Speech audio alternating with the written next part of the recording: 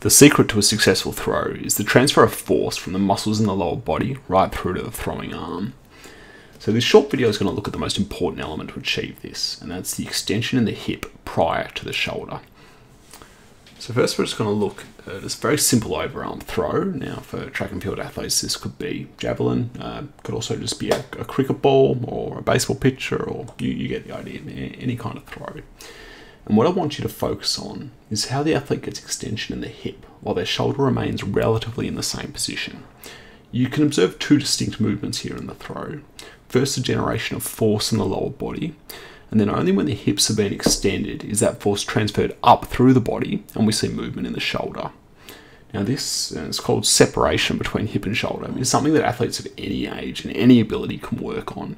And it doesn't matter whether you're throwing overarm, like our athlete here, or, a sling throw, like in the discus, or a put during a shot put, or even doing a chest pass. The, the principle remains the same.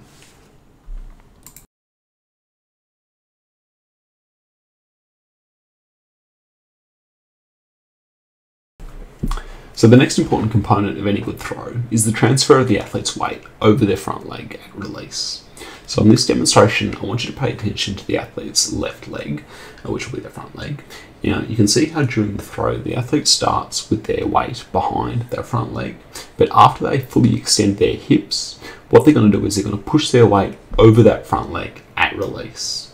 So actually at the point of release, the athlete's center of mass is directly over that front leg. And look, again, this is true for other types of throws. So in this example, we're going to see a discus sling, uh, and you can observe the same pattern here. So after extension of the hips, we observe the athlete pushing their weight over their front leg at release. And here again is a, a put, and the same pattern again. Extension at the hips, and then the transfer of the athlete's weight. They're going to push their weight over their front leg at release.